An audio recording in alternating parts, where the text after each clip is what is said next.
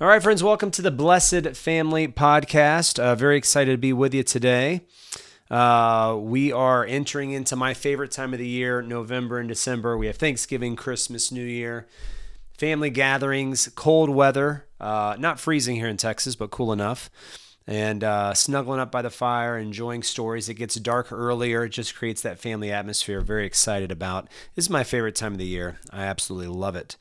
Well, today, uh, this is episode 95. We're going to be asking the question Who are your children's teachers? And let's start by asking the question why does it even matter? I mean, obviously, our children need teachers. Uh, who are they? Everyone would agree it does matter. Teachers are important, but many people are trapped within a very modern, secular, which is a word that doesn't even exist really, but or a concept, but just an idea that confines teachers to simply schools or in the homeschool realm, maybe uh, parents, which is very important. Don't get me wrong. Uh, youth pastors, maybe great people like that. But friends, there are so many amazing teachers out there, and if you give your children the right teacher, uh, you will set them up for immense success.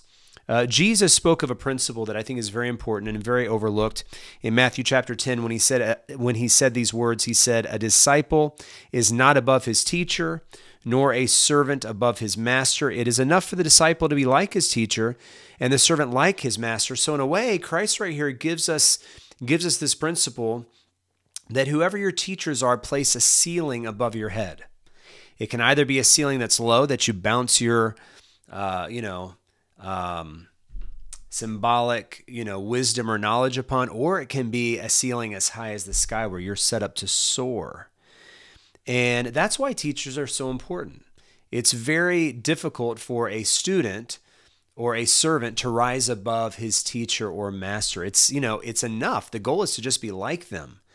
And so and and and, and uh, so if you if you give your children teachers that just aren't aren't all that is available. I mean, and you know, this isn't to insult people, this isn't to tear people down, but there are there are good teachers, and so you can put a good ceiling there, but there are amazing teachers. There are teachers like no other.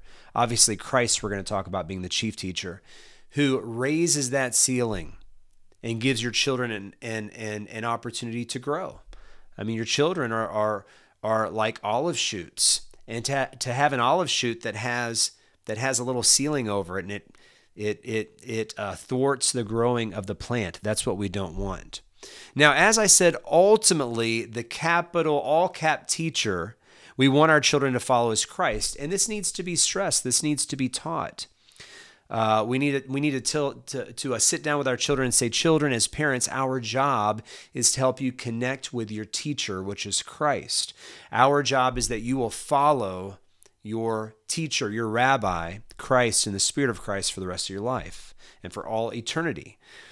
And that's important. That's very important. And and and please don't make the mistake of assuming just because your children are brought up in a church or a Christian family that they've caught on to that idea.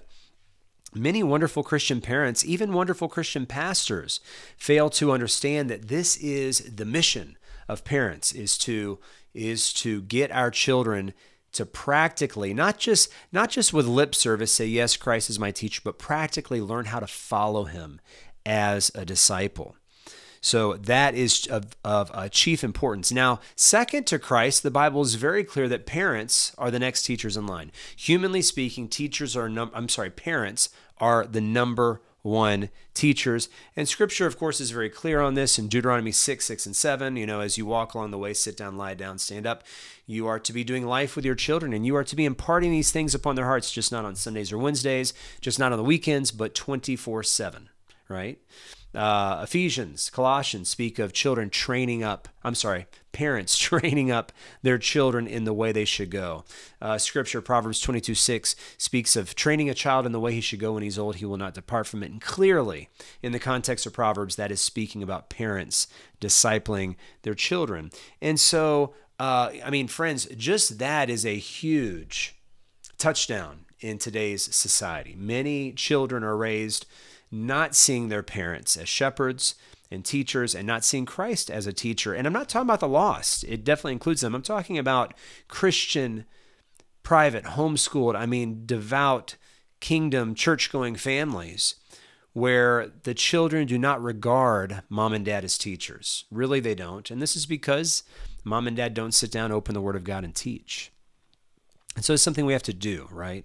It's something that's caught just as much, if not more, than taught. Okay, now, who else? Okay, you have you have Christ first. You have uh, parents. Who's next in line? Very important. Next in line is other family.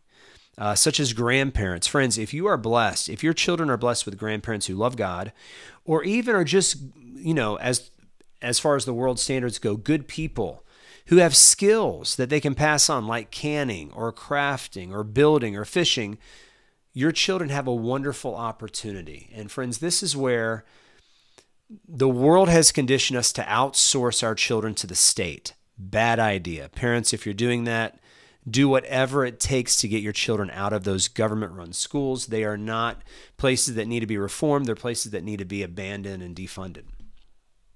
Uh, and you you can reach out to us if you need more explanation on that. Um, well, let me just say those places are places of indoctrination. Uh, they cost a lot of money and ironically, very little true education, really, I mean, very little true education takes place. What takes place is a lot of indoctrination, bad companies that corrupt good morals, evolutionary Darwinian philosophies, Marxist philosophies, uh, critical race theory, gender confusion, Im, uh, immorality and darkness, it's a bad idea. And if you're listening to this, I think you get that. Um, but man, so the world has conditioned us to outsource our children to the government.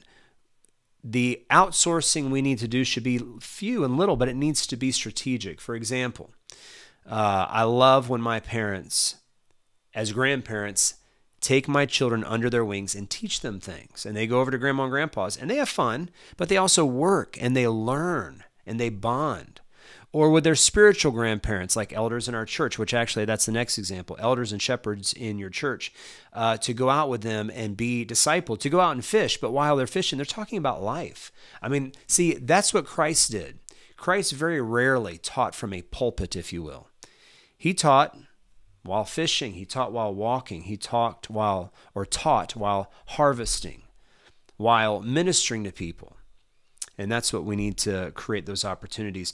And it's not just the elders and grandparents. Well, let's move on to elders, not just elders and shepherds or pastors teaching um, in our homes, which are good, or while they're fishing, or while they're walking along the way, or while or while your teenage children are going over to help uh, because they've because they have a newborn, your pastor's wife, and so they're going to do laundry and cook and clean and help. But also from the pulpit, you need to teach your children that hey, when we gather on the Lord's day and we listen to our leaders teach, friends, or I'm sorry, children, also friends, uh, we need to do that with reverence, understanding this is how we grow. This is how we learn. Okay, next we have other men and women in the church which give skills and wisdom. So, so there's people.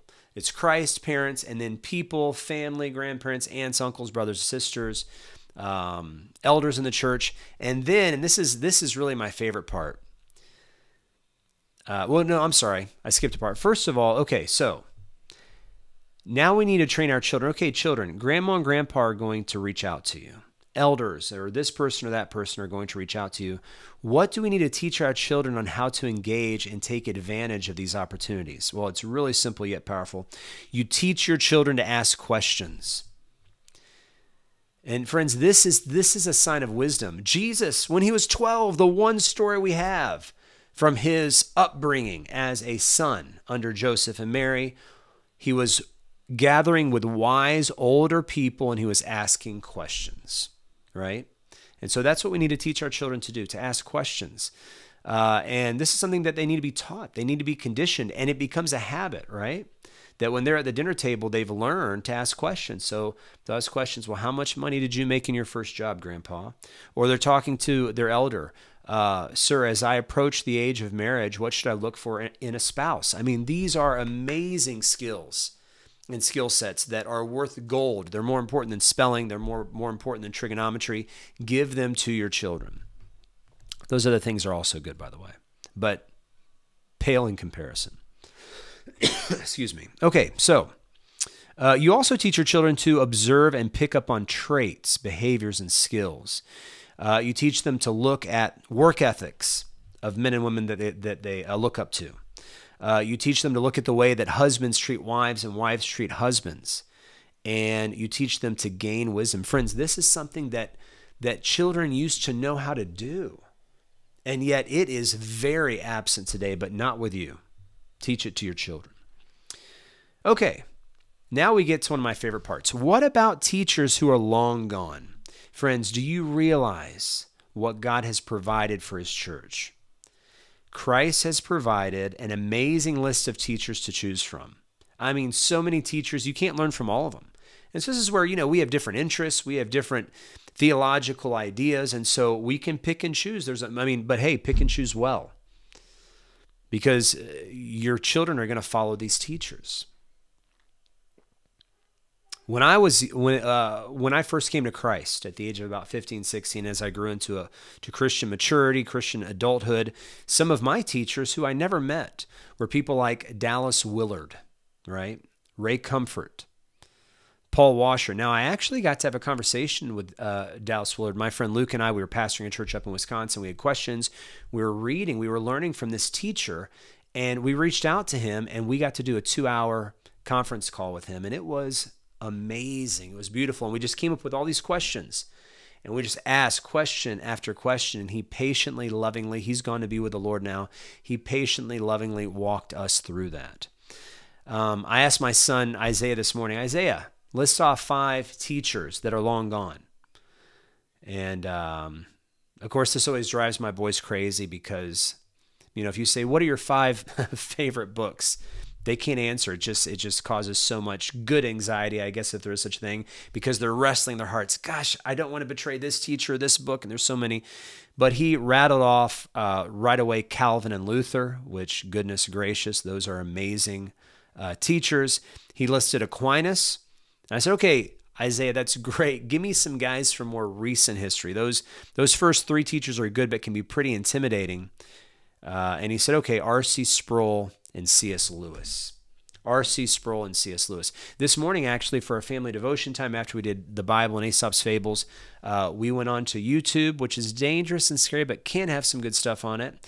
And we found a channel, well, it's a channel we've been subscribed with for a long time called C.S. Lewis Doodle. And it's this guy, kind of like the Bible Project. You hear C.S. Lewis teaching, and this man is doodling, and it's really, really good. Um, if someone came to me and said, Jared, give me one teacher from the 20th century to be a teacher to my family, I think C.S. Lewis might be it. Amazing thinker. And see, it's not that everything he said was right. That's that that that uh, title is reserved only for Christ. Everything Christ said is right. Everything the Scripture says is right. And some of these teachers get some uh, get stuff wrong, just like I'm going to, and you will also. But as far as a man who, if if I wanted my children to think a certain way, it would be like this man. He was a brilliant thinker. He knew how to think. Um, and, you know, that's where uh, we encourage his books, uh, like his uh, books just on how to think, like Mere Christianity or The Great Divorce, The Four Loves, um, and also his novels, uh, such as The Space Trilogy or The Dark Tower. But, you know, the teachers go on. Men like Wes Callihan, Doug Wilson, Abraham Kuyper, Milton Friedman. These are all authors and people that my that my children have listened to or they've read. Uh, Washington, read Washington's 110 Rules for Reformers, which you can get on our website. My wife made a beautiful booklet of it, jared.com. Uh, Winston Churchill.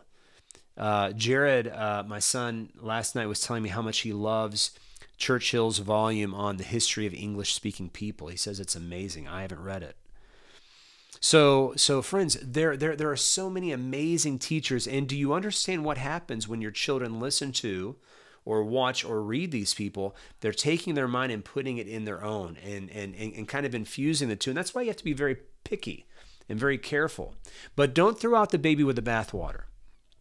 None of these people outside of Christ were perfect. I mean, this is what Hebrews 11 shows us. Actually, this is a biblical principle. Hebrews 11 shows us 16 heroes many of who contributed writings, which were, were of course inspired by God in the scriptures. And uh, they weren't perfect. and yet they're called heroes and and you know they are referred to as this great cloud of witnesses that we are to run alongside and um, and so don't throw out the baby with the bathwater no one is perfect other, other than christ and yet there are a plethora a long list hundreds of wonderful men and women who weren't perfect and they made great errors but we learned from those errors just as they did and they wrote about the errors they did and, and it's just an awesome opportunity. So, scripture, with that great cloud of witnesses, encourages us to understand who has gone before us and learn from them. Friends, there is this attitude today, I think more than ever before, that everyone's an expert. Everyone's opinions matter. We are walking in Proverbs 8, uh, 18 2, which says, A fool takes no delight in understanding, but only in airing his own opinions. And it used to be that sons and daughters realized that they didn't have knowledge, they didn't have wisdom. Their opinions weren't worth really anything, and they needed, therefore, to sit at the feet of men and women of history. And men of and men and women in their home, like mom, dad, grandma, and grandpa, men and women from their local church and community. And that's the attitude that we need to give our children. Here's a fun exercise. Go on to AZ Quotes or other website like that and look at people that you think are worth admiring and listen to their quotes. I've got three. I just rattled off real quick. Uh, Reagan said this. He said the most terrifying words in the English language are, quote, I'm from the government and I'm here to help. We like Reagan. We think he has good things to say. Uh, Roosevelt, Theodore Roosevelt said this A thorough knowledge of the Bible is worth more than a college education. I think that's something that parents need to hear today. And of course, Washington saying things like firearms stand next in importance to the Constitution itself. So, who are your children's teachers? Friends, here is the main point. You want to raise your children to realize that they need the wisdom of their forefathers. Once again, like I said, everyone thinks they're an expert. You don't want that in your children. I don't want it in mine. I want them to realize that even though they're great, we love them, we're fans of theirs, they don't have knowledge, they don't have wisdom. They don't yet know what they need to know. And the knowledge is out there, but usually the older the better. If I can read a marriage book written in 2022 or a marriage book written like the one I have called uh, The Family, written by Miller in 1850s, I'm going to read Miller. Doesn't mean that if it's if it's old it's good, but usually it's better. Choose their teachers wisely, but hey, choose. Choose. Hurry up. Time's against us. Today is the day of salvation. It's time for our children and your children to be inspired from the huge reservoir of knowledge we have from the past. So, friends, I hope this encourages you. I hope it challenges you. And I hope that you will sit down with your children and say, hey, you know what? Mom and dad just want to apologize and confess. We have really missed out on this opportunity. Children, there are so many amazing teachers here locally and also from the past.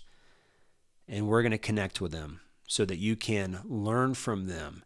And so that that ceiling that Christ mentioned when he said a teacher, I'm sorry, a student cannot be above his teacher, it's just enough for him to be like them. We're going to raise that ceiling so that you won't hit your head on that ceiling, but that you'll soar to the glory of God. Friends, thank you so much. We'll see you next time. Bye bye.